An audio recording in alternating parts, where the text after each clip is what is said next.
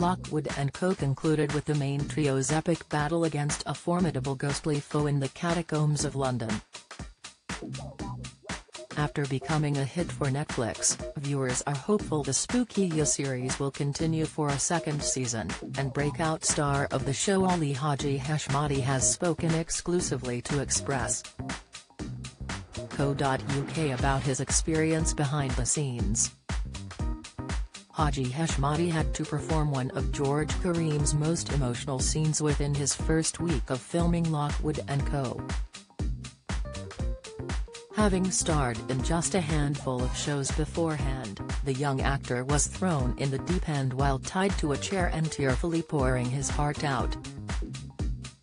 I remember that was actually my first week of filming, he recalled. And I found it really challenging at first. But, just looking around me, there was such a great crew, in the season finale, George realizes his friend Pamela Joplin, played by Louise Brealey, had actually been using him this whole time under the influence of the bone glass. The small yet powerful mirror could be the key to freeing the dead occultist Edmund Bickerstaff, Brendan Gibson, into the world of the living, and overrun London with ghosts.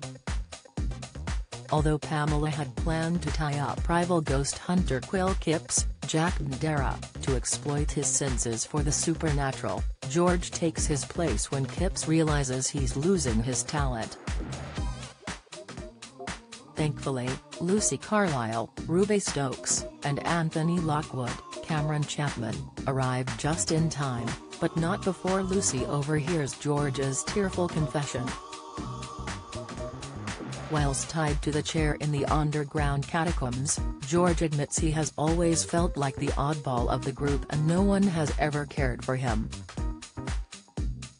Normally known for being assertive and eccentric, Hadji-Heshmati credited director Joe Cornish and his co-stars for helping bring out a more vulnerable side of the young ghost hunter. Joe was amazing, he said and I was acting across Louise, Ruby, and Jack, who are also brilliant at what they do.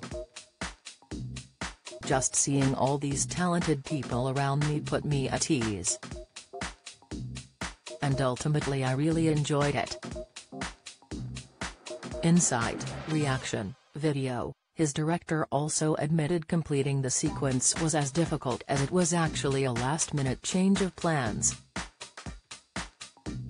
He told Express.co.uk, it was really hard because it wasn't supposed to be our first week. But something happened with COVID that meant we had to delay and rearrange the order of filming. So, we ended up filming the climactic scenes first. It was quite good, actually, because it was such an emotional moment for George you have something really to plunge into. But, personally, I love that through line. I love the way he becomes obsessed with the mirror. In addition to his emotional outbursts in the season finale, Hadji-Heshmati had one of the toughest jobs in the cast as George slowly and subtly becomes taken over by the mirror. Thankfully, the detective trio returned relatively unscathed to the surface, though there will undoubtedly be more supernatural mysteries awaiting them in the potential second season. Lockwood & Co. Season 1 is available to stream on Netflix.